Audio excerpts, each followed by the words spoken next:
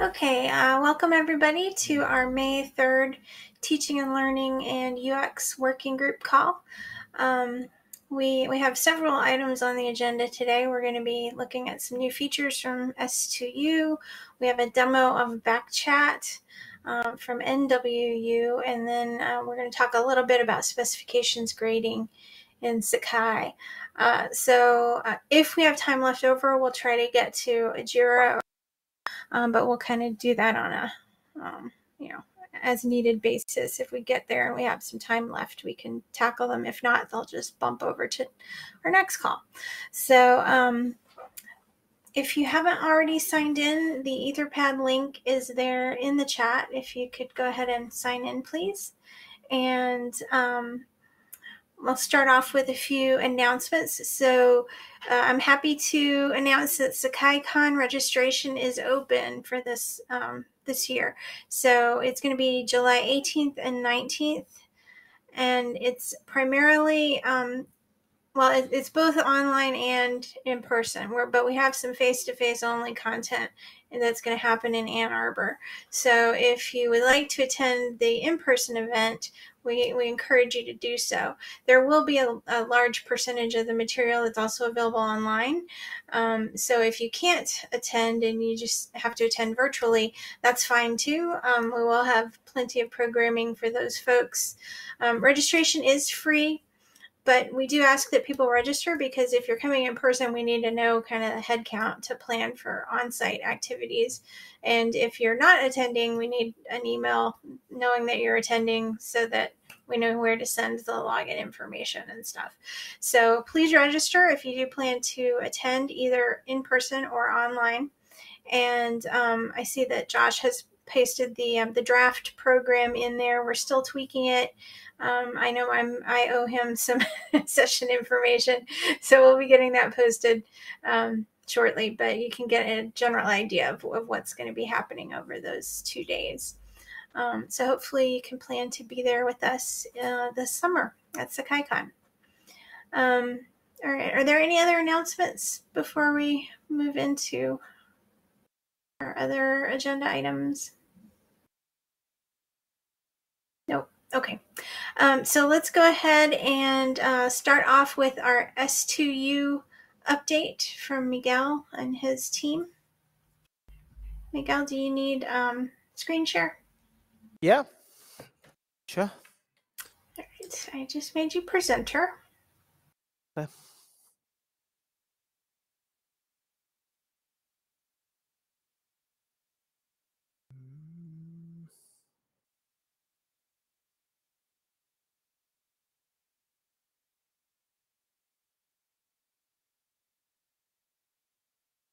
Okay, do you see my screen?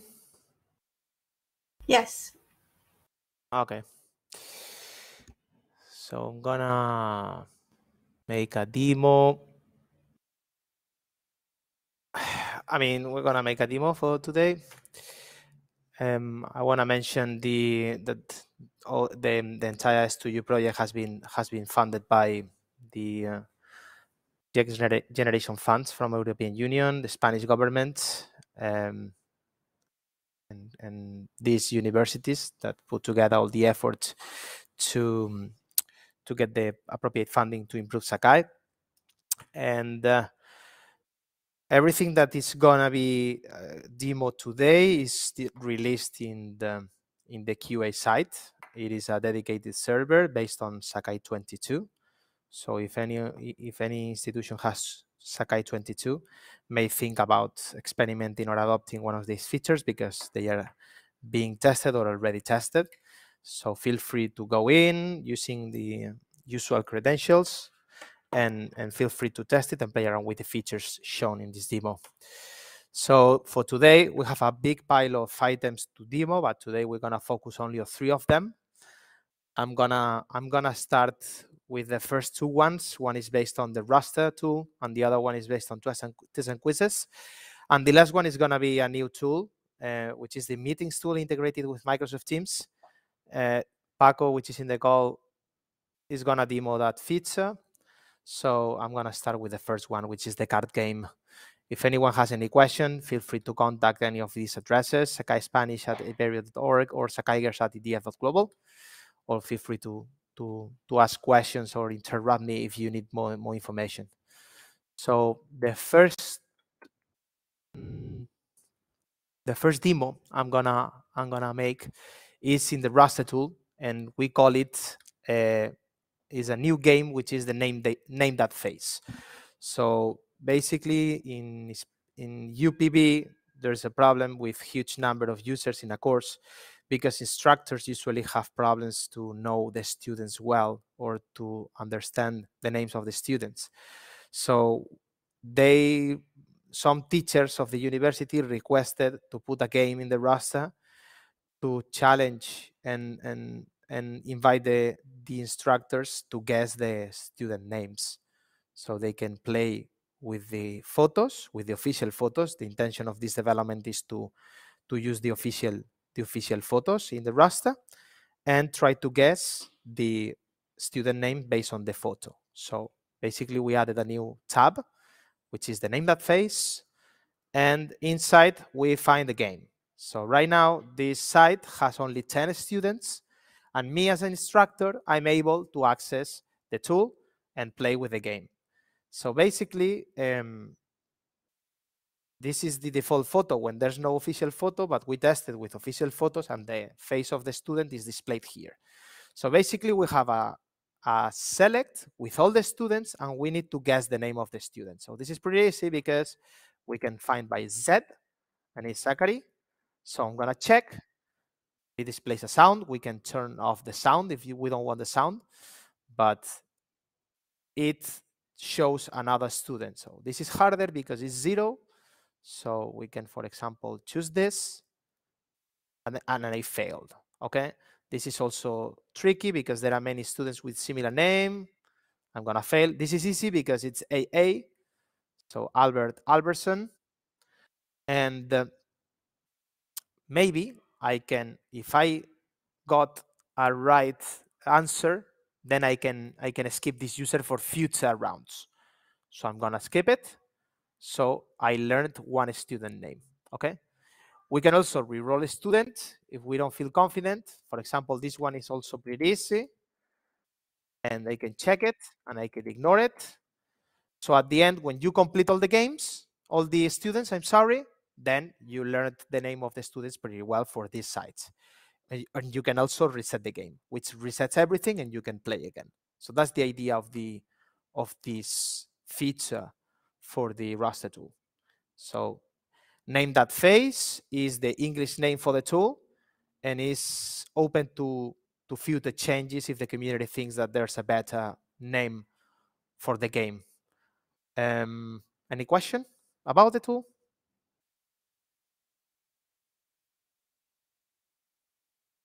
So if you have multiple instructors in the course, does it um, is it individual? Like if one instructor plays and learns five names, a different yep. instructor goes in and they'll get from scratch, right?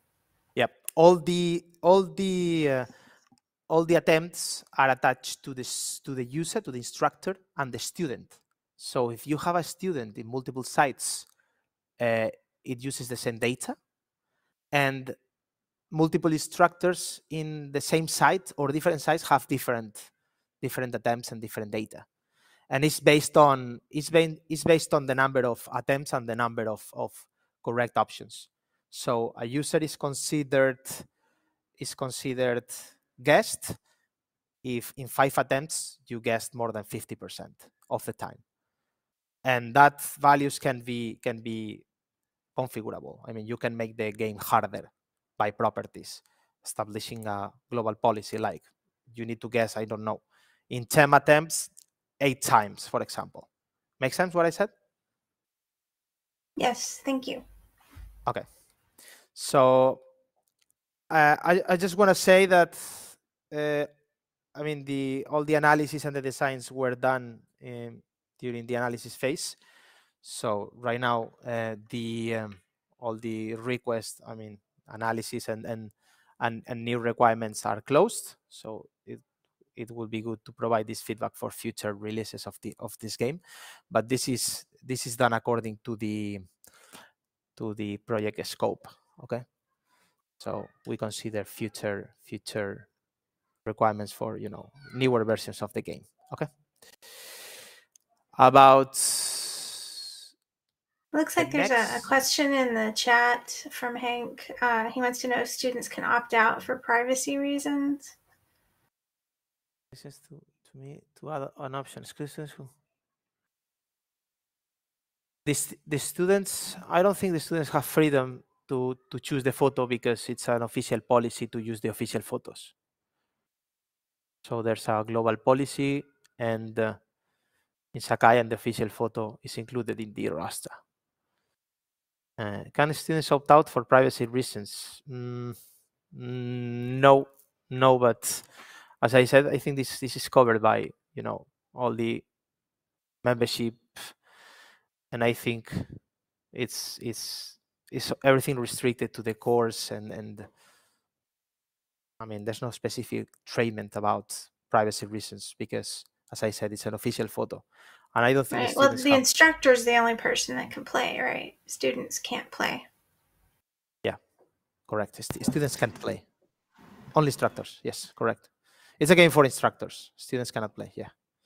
Miguel, it, it, But- there it is an, an interesting potential edge case. I mean, there might be countries in which students have the ability to opt their official photo uh, out of the roster for their instructor in their course. I mean, I'm I'm finding it hard to imagine that, but I couldn't rule it out either. So just something to, to keep in mind for future. Yeah, well, the entire roster then is affected. I mean, this is nothing new because entire Sakai lacks of this. So it respects the permissions. This means that if you adjust the permissions, then the user is not able to access the photo. So I think it also applies to Roster. Make sense? Yep. Okay. Anyway, everyone is welcome to play with the game and and and participate on the jiras because the jiras are open. This is S2U. Um, what was the name? S2U. Forty-two. Okay. About the next one, S2U fifteen. This is in test and quizzes. Um, for to demo this, to demo this, I created an exam and I submitted three submissions. So it's a big course with several several students. So right now, when you click on one of the submissions, you have the capacity, and this is uh, this is pretty consistent with the grader. You have the capacity to go to different submissions without going back again. So right now in Sakai, this doesn't exist in 22. You have to go to the bottom, you have to cancel, you have to go to the next s- student and click it. So right now we added this. So you can move between submissions easily. So you can go to the Z and you can go to the A without going back to the list and going to the a full list of students. So improves the navigation between submissions in test and quizzes. So this is pretty easy to to test and pretty easy to demo. Any question about this new feature?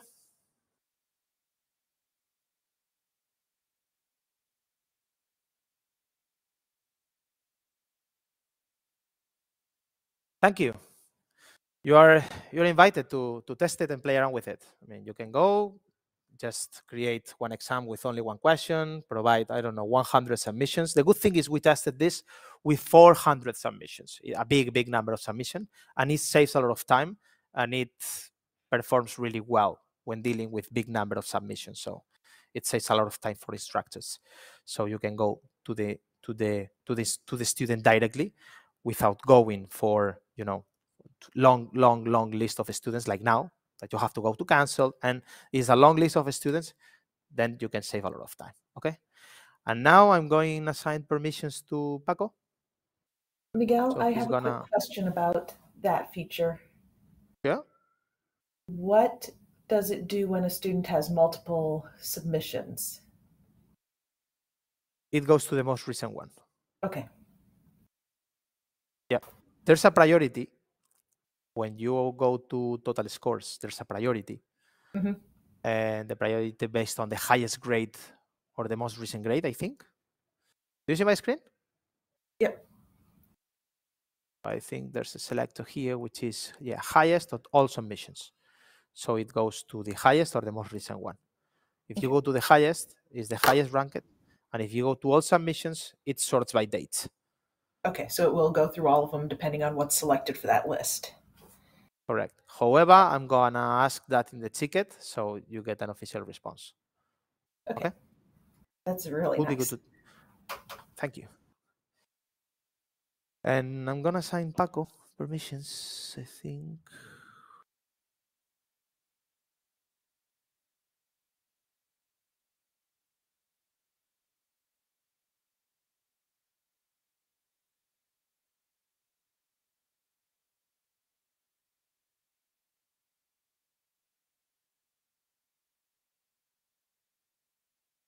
Paco, do you have access as moderator? Yeah, I, I think so.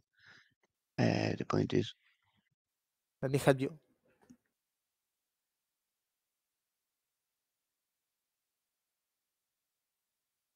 share my screen.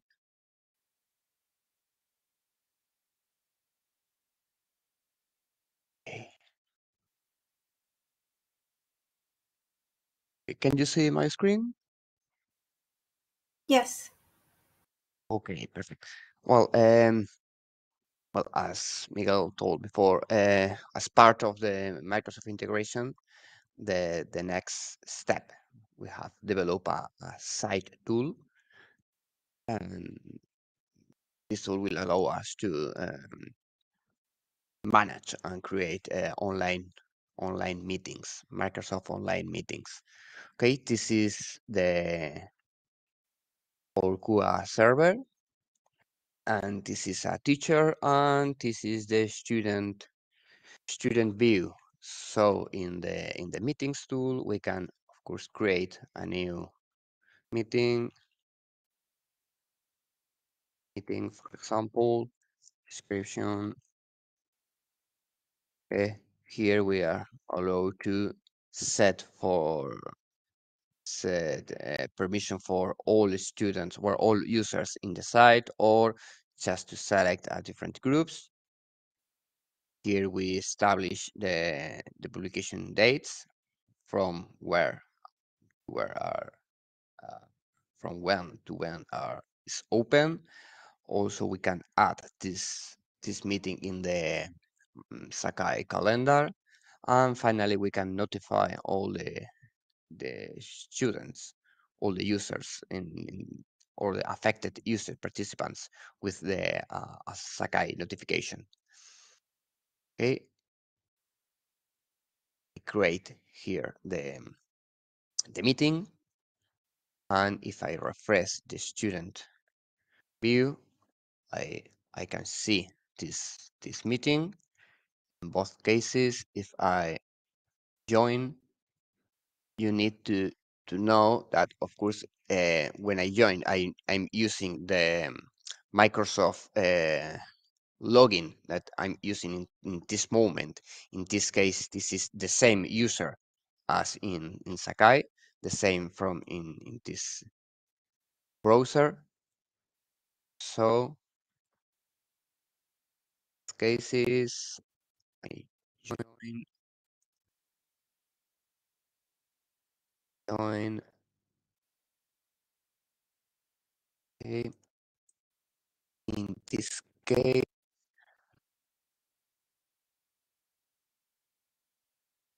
yes, because if not, I have some echo. Uh, this is the repeat. This is the student, so this user is not able to to record the the meeting. This one is the uh, the teacher, the the manager, so is able to record. So I can start.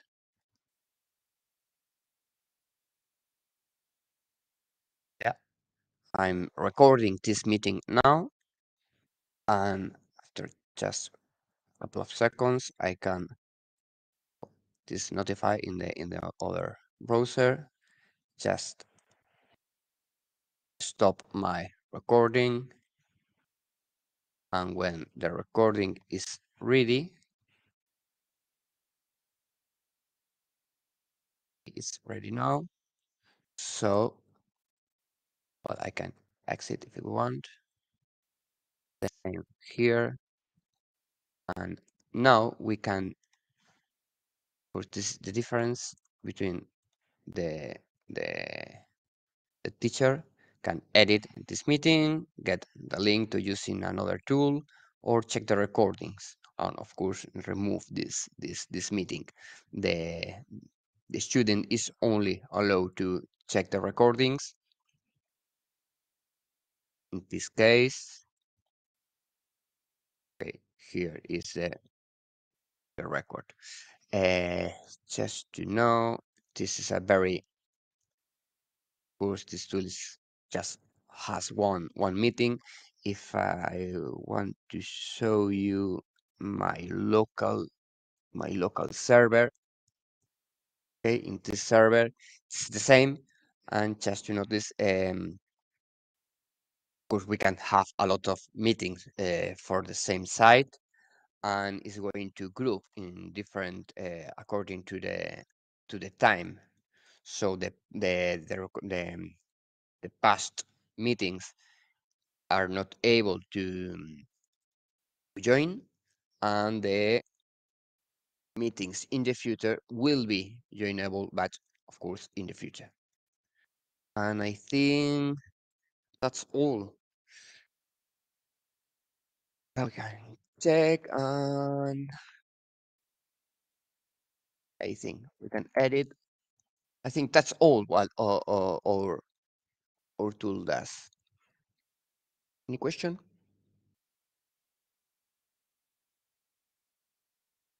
It looks really nice.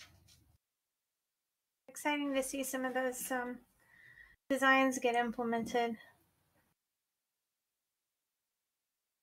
Very cool. Does anybody else have any questions? I just want to mention that all the Microsoft integrations with the tools is is based on multiple multiple functionalities, um, which is the membership synchronization first. I mean, there's a functionality that integrates Microsoft with users, groups, sites, teams, channels, etc. All the Sakai objects with Microsoft objects. Then this tool, Microsoft Teams, is using that integration, that permissions to get the recordings to display the right information to the right people, because there's, a, as I said, a, a similar structure in Microsoft and a similar structure in Sakai. And there's new new coming developments for OneDrive, streams, and inline documents that are going to be based on on the groups. Paco is showing uh, right now the Microsoft admin tool with deals with this synchronization. So unfortunately, unfortunately, you cannot have the Microsoft Teams integration without other pieces because membership, users, channels, teams are required. So we made Sakai more in, integrated with the Microsoft um, Office 365 services.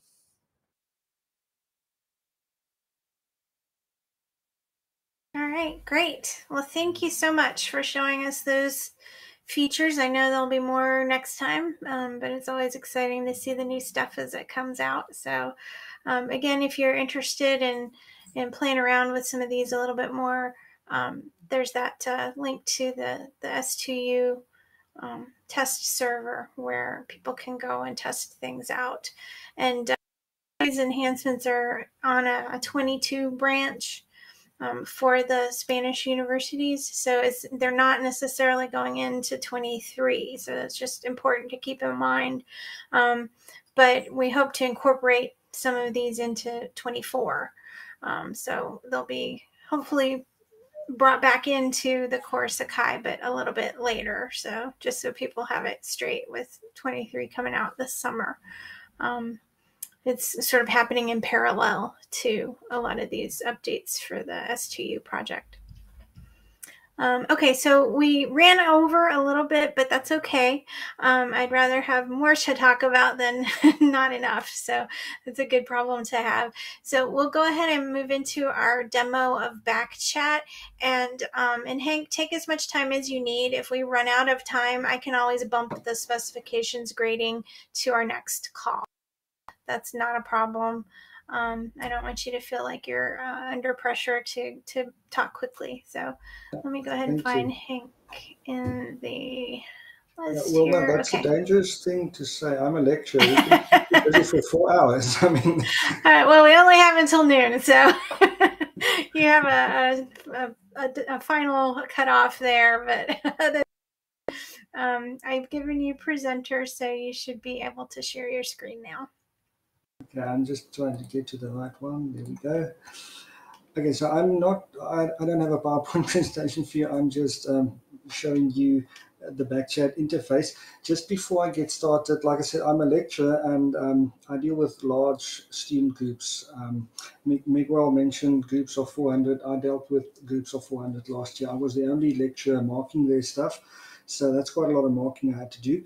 And I teach um, second language writing in English uh, which is not my first language and neither is it for my students. So I want to be able to communicate with them uh, and explain to them certain concepts in a in a way that's a lot more effective than just uh, typing it out. And I wanted to do voice notes, so we created Backchat as a way to do that. And the screen you can see here is the the marking interface. So um, I I've already set up my class list and my marking rubric. I'm not going to add an intern ending, but um, I can immediately start marking. So if I need to, I've, I've done a few. This is just the sample list, right? So this is not an actual student. Um, this is jumbled. It's not an actual student um, class list, but that's the gradebook list that I got from from Sakai, and I incorporated that into Backchat so I can start marking. So if I want to mark this student, this is what I get. On this side here, I've got a marking rubric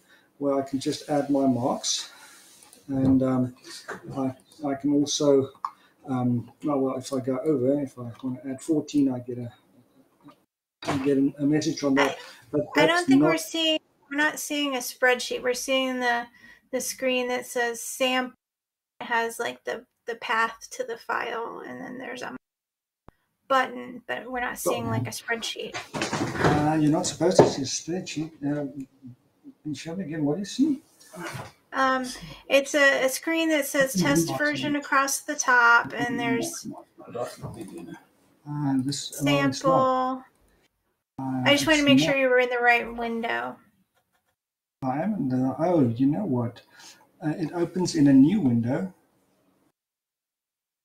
So how do I share? I'm just going to stop sharing my screen. How do I share my my complete window? Not.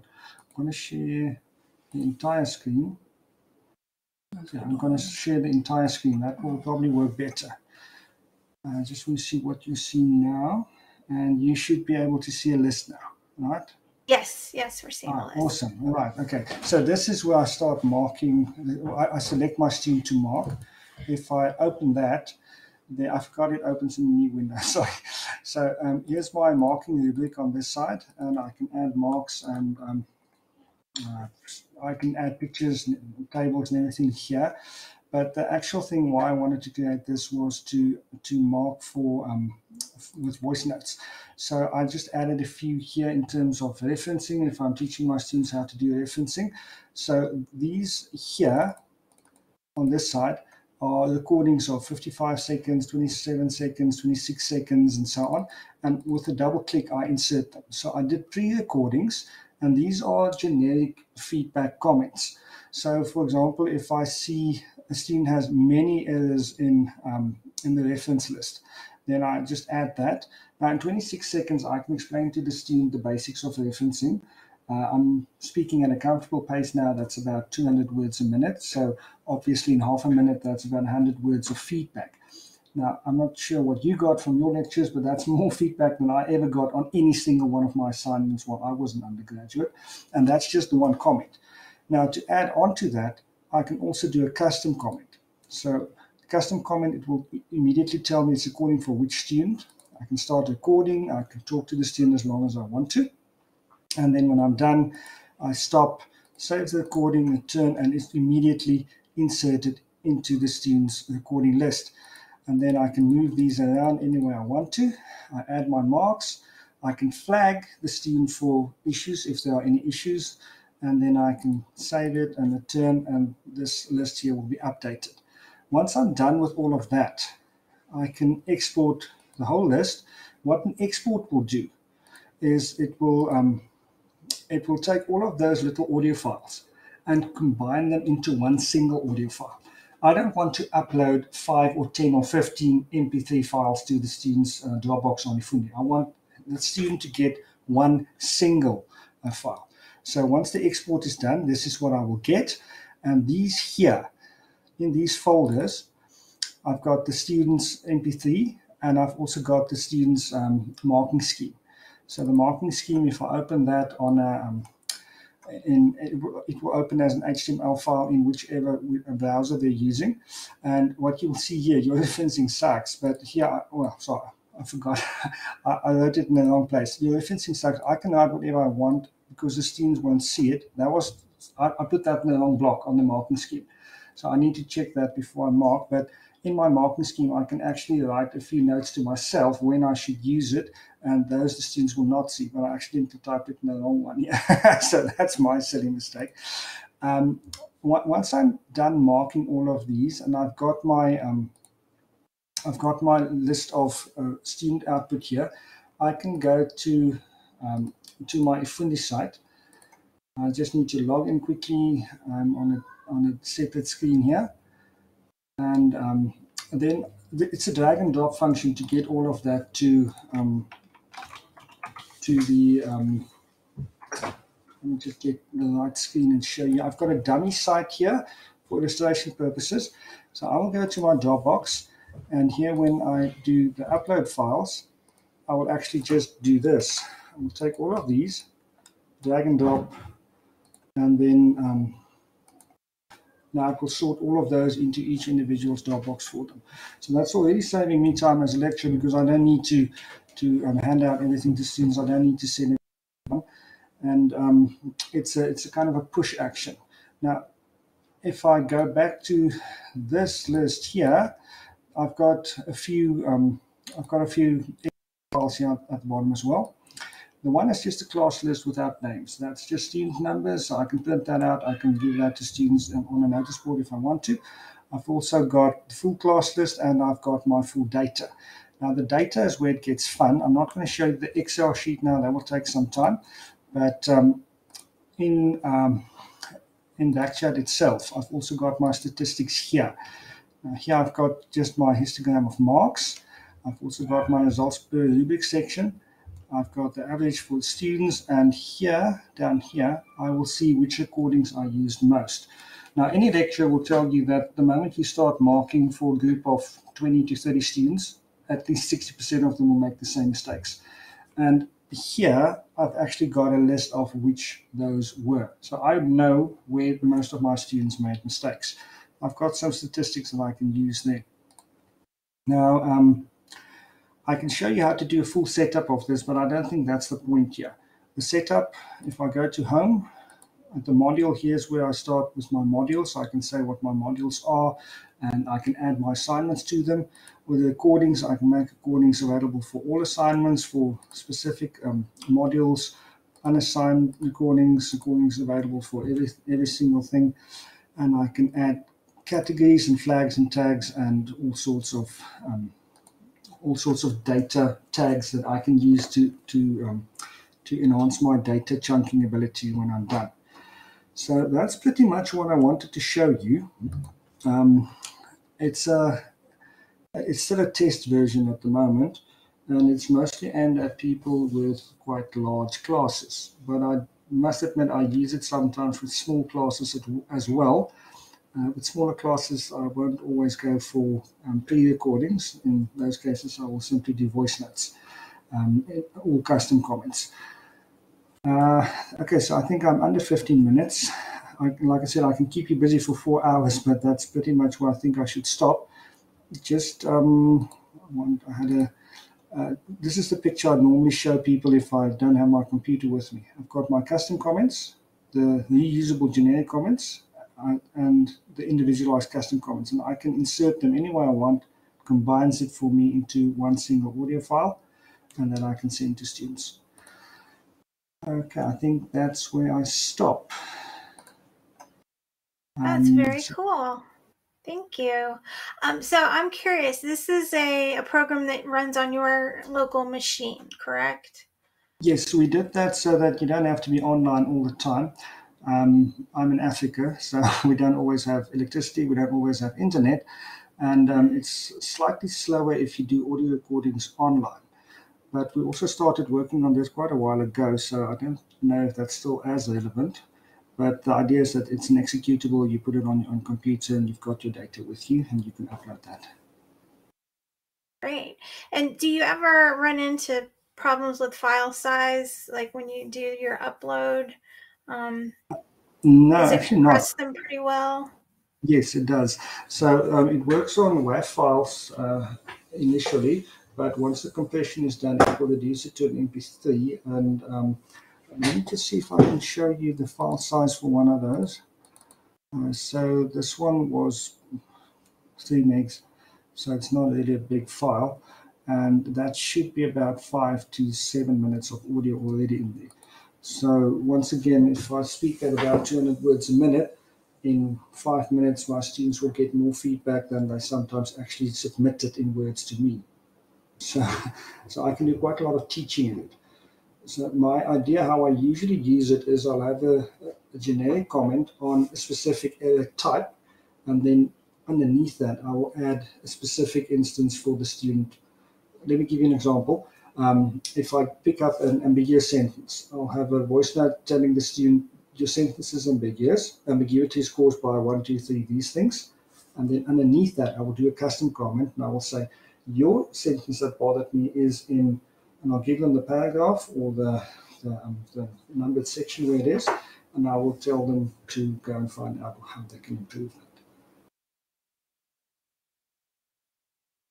So, um, is this something that when you install a, a fresh version of it, does the individual instructor need to populate all those comments, or does it come with any kind of canned uh, comments already? You can't really send it with canned comments because then it will be different voices speaking. So um, you'll have to do your comments the first time around. But to give you an idea, if I've got, um, if I get a new kind of assignment or new class group and I expect a different, a new kind of, uh, a new combination of errors, to record about 30 or 30 to 50 comments will take me anything between half an hour and 45 minutes, but it will save me much, much more time than that. Because remember, um, I can just double click and insert. So if I do my comments, my pre-recorded comments well enough based on my experience, for some assignments I don't need to do custom recordings at all because I can give the students instructions just based on what everybody else did wrong as well. Now, as you're recording, um, say you're creating a custom comment and you want to use that as a generic comment, can it kind of be tagged as uh, reusable?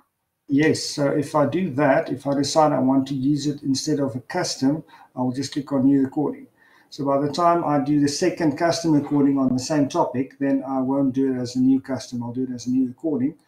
And the new recording I can uh, add to the category. So we're busy with referencing, I'll focus on referencing. I'll add that to this specific module, sample module, and I can add it to a specific assignment or to all assignments.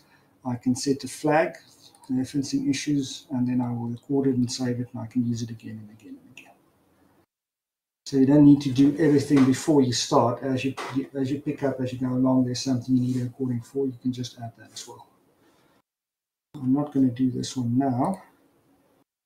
Changes have not been saved. Yes, so we can close. So I know I've been So- asking lots of questions. Do other folks have questions? Please feel free to type it to into the more. chat or yeah. I'll give people a moment to think about it. Yeah. um, Um, So, if we wanted to try this, is there a place we could go to download the program? Is Uh, it open well, source? Uh, it's not open source at the moment. We're trying to test it. University wants to see if they can get somebody who wants to take it further. Um, you can send me an email and uh, we can make an arrangement.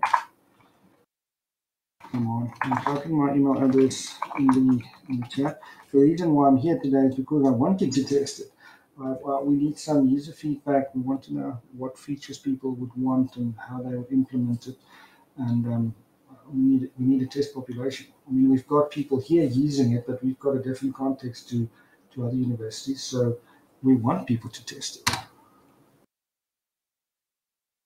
Okay, great. Well, so for those of you on the call, if you're at all interested in testing this out, um, please, you know, uh, let Hank know, or you can contact me, and I'll put you in touch with him. Um, but uh, but yeah, it'd be great to uh, get some folks kind of kicking the tires a little bit to see if it might be useful at other institutions as well. It looks pretty interesting. It, it saves me time and it saves me a lot of frustration. Yeah.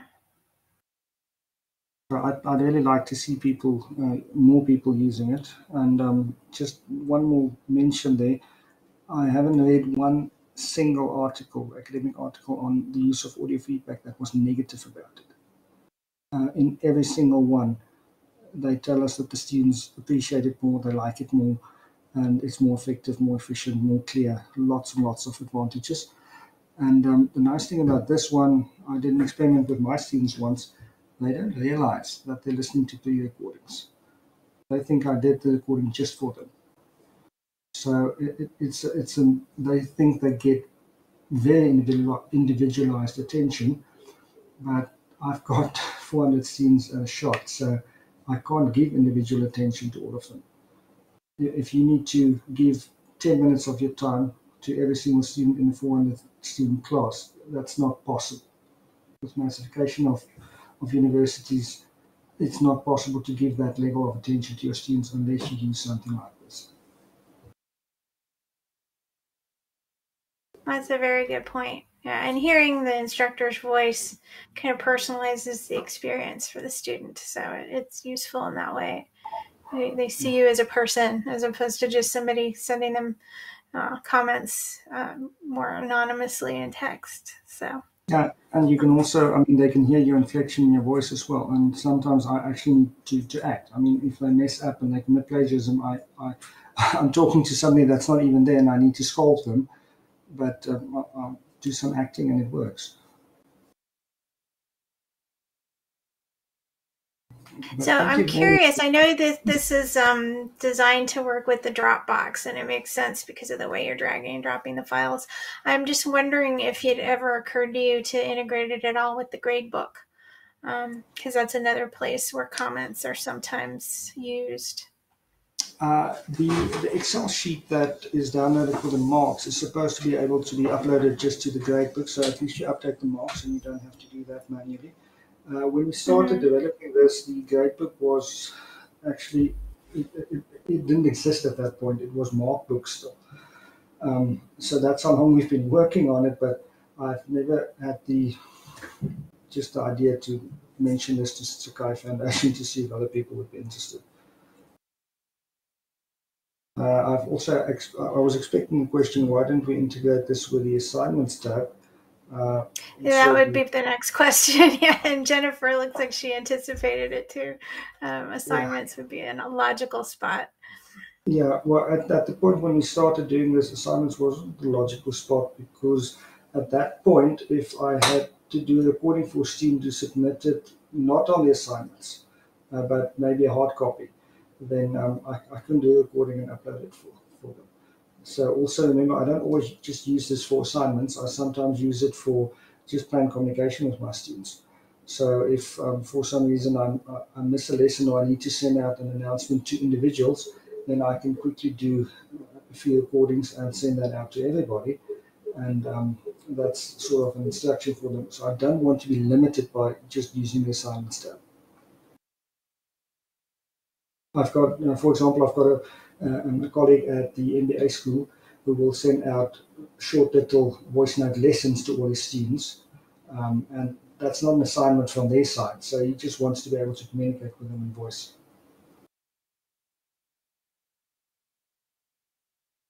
Okay, great. Well, that that's a, definitely a good point. Um, does anybody have any other questions for Hank? Yeah, I see I'm a lecturer. I put them all to sleep. well, thank you so much for showing showing us this. This is um this is very interesting. Um, I'm gonna kind of take it away and let it percolate a little bit, but maybe there's something we can do to try to tie it in, or at least get some other folks trying it out to see if it's useful for them. So yeah, we really appreciate you reaching out, and um, we'll be in touch. It looks like we are running a little short on time, so I'm gonna bump the um, specifications grading discussion to our next call, um, just so we have plenty of time to um, to dive into that.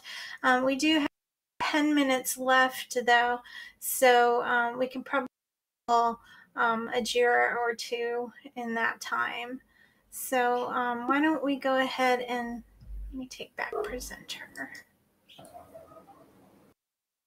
Um, why don't we look at this first one here and I'll paste it into the chat as well. Uh, share my screen.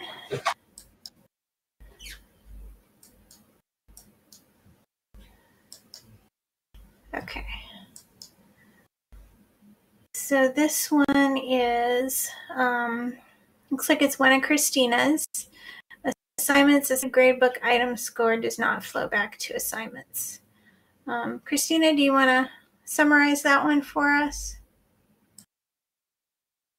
Um, sure. And I don't know if this is what is, I'm not sure what's the expected behavior, but in the case of you have an assignment linked to an existing gradebook item, if you put a score in to the assignments tool, it flows back into gradebook. But if the instructor goes and puts the score directly in gradebook, should it flow back into assignments?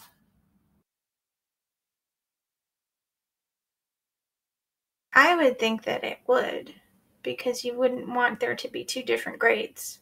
It should be one grade, regardless of where it's entered. Yeah. Well, right now, if the instructor puts the score in gradebook, the associated assignment shows not graded, no score, no feedback. Yeah, that seems like a problem. um, so I I hope that this will be addressed when the centralized gradebook um, is sort of hooked into handling the scoring for assignments. Um, because the intention of that is that the same, you know, lo- location where grades are stored and, and managed is being used in all the tools that that display those grades, like assignments and gradebooks. So they would both be kind of pointing to the same origin. Um, but I don't know how quickly that's going to, to take place. I know that Adrian was working on a lot of um, centralized gradebook service uh, features for 23, but I don't know if it's if it's if it's going to handle this particular issue yet. I mean, I don't see it being the most common use case. I think most mm-hmm. instructors mm-hmm. are going into gradebook, but or not into gradebook, but into assignments to enter the score. But if they do go into gradebook, assignments doesn't recognize that a score was entered. Right. Oh, and Adrian says not for 23, too many blockers. so it won't be fixed that soon. But but yeah, that does seem like a, a an issue to me that they should flow both ways. Um, because you could attempt uh, uh, potentially get inconsistent information and that would be confusing to a student if they go into one place and they don't see a score and they go somewhere else they see a different score um, i don't think they'd ever see well i can't say that. If they end if the instructor put a score in assignments and then went into gradebook and changed it then they'd see two different scores. Yeah. Adrian, that's because you're not making it work exactly how we're envisioning it to work magic. Yeah, you have to you know, get your mind on and Let's see. Jennifer says um, our faculty check the option for assignments to go to gradebook, so they can't enter the gradebook. Yeah, that that's the option I recommend to people as the preferred way to add the gradebook item because otherwise you run into those kinds of problems with mismatching information.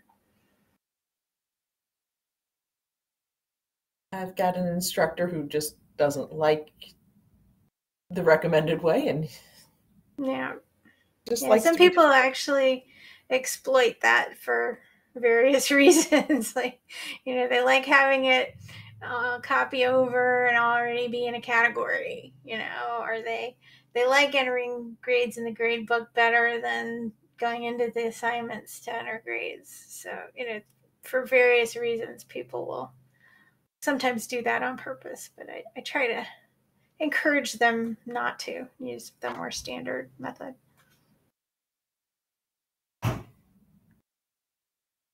So, does anybody else have any other thoughts on how this should work? Um, is it fair to say that this is uh, a problem and should be corrected?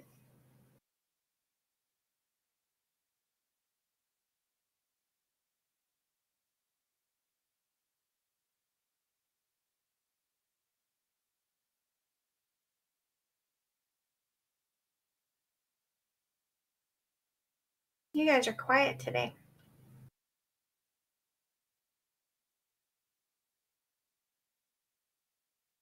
All right, well, I will add a note with my opinion, at any rate, that I think they should stay the same. um, if anybody wants to, uh, you know, add a, a, dissenting opinion, you're certainly welcome. Um, but I'll go ahead and update that JIRA with, with some preliminary feedback at any rate. And hopefully we can get it sorted after Adrian is is past some of the blockers and um, we can uh, we can try to get some of this sorted out after 23 is out the door. So, um, all right. Well, it looks like we are about out of time.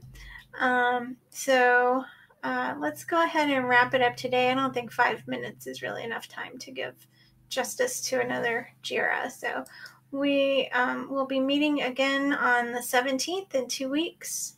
So hopefully you will join us then, and we'll be talking about the specifications, non numeric grading stuff um, in a little more detail, and then we'll also have some time for, for JIRAs next time. So uh, hopefully um, you'll join us then, and have a great rest of your week. Thanks, everybody.